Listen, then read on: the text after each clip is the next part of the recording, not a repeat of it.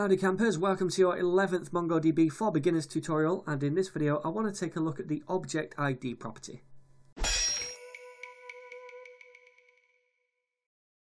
Okay, so in the last tutorial we found a user in the database with the name of Mario by using findOne. So it went to the database, it looked at the properties right here of each record and any that it found with the name of Mario it will return that first one it finds. Okay? Now, what if we have, say, 10 different records in the database and they all have a name of Mario, or say five of them have a name of Mario? How do we know which one it's going to return to us? What if we want to find a very specific record? Well, instead of finding by name, we could find by object ID, which is this thing right here. You see this long string of characters? This is the ID. So each record in the database which you save to it has a different object ID. So because it's so unique, we can use the ID to find a very specific record, which is what I'm going to show you in this tutorial. So back in our finding test.js file, I'm going to create another test, and this is going to go out and it's going to find a record by ID. Just going to pop my semicolon there. I'm going to copy this thing right here, this it block, and I'm going to create a new it block because these, remember, are individual tests within the describe block right here. Okay, so we're still finding records, we're just finding it in a different way.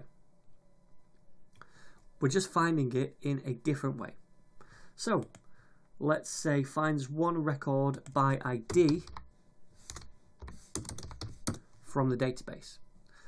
So, this right here, find one, it's all going to be very similar, but instead of finding by name, what we're going to do is search by ID.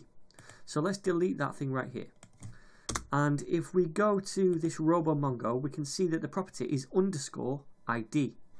So what we can say is we want to find it by underscore ID, right?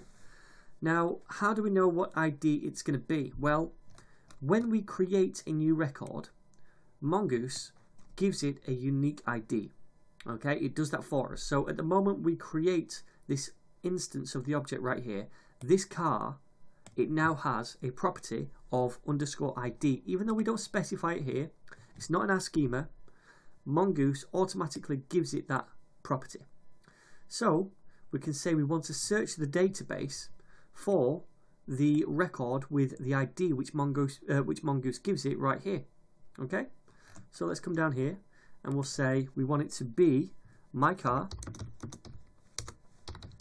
dot underscore ID, right? Now, is this going to work?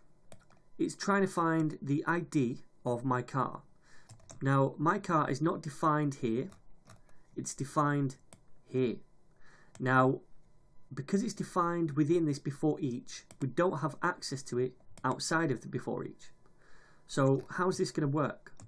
What we need to do is just above the before each, we need to declare that variable first of all. So I say var car. Okay? And that's all I need to do. Then I can delete this right here and this now is going to update this variable. So we have access to this variable here now within this it block and it's not my car, it's just car. Alright, so we're now saying we want to find one record with the ID of the car underscore ID. So then we find this function with the result, hopefully the correct record that it's found. Then we want to assert something we want to assert that the ID we found is equal to that ID. Do we know? So we'll say result dot underscore ID is triple equal to car dot underscore ID. Makes sense, right?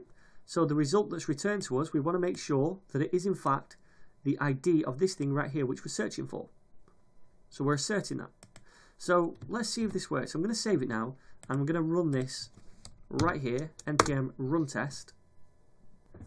And check this out, we've got errors. What the hell is going on there? So, if we go up, we can see that saving a record, that passes absolutely fine. Uh, finding one record from the database, which is this thing right here, finding one record from the database, that is fine. Finds one record by ID from the database, this is failing. So why is it failing? Well, it's failing because this assert thing right here is failing. And the reason is, these things right here, these IDs, these are not actually strings. these are objects. If we take a look at RoboMongo, we can see that right here, the ID field is this string right here surrounded by this object. Okay, it's like a wrapper around this ID. So what we're doing here is we're comparing two objects, this local object and this object that's come from MongoDB. And they're not technically the same thing. And because they're not technically the same thing, this thing right here is failing. Okay? So how do we get around it?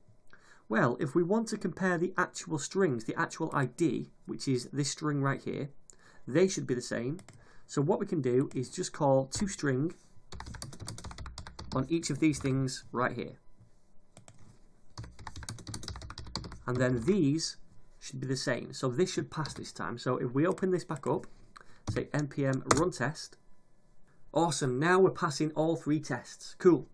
So just to reiterate, when we're actually finding a character, we don't have to put toString, okay? Mongoose is clever enough to understand that we want to find a record with the same ID.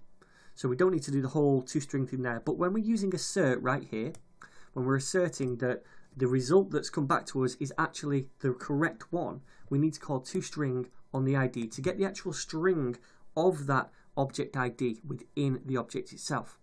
Hope that makes sense. Okay then, so that's how we find a record by object ID. In the next tutorial, we're going to take a look at deleting records from the database. I'll see you then.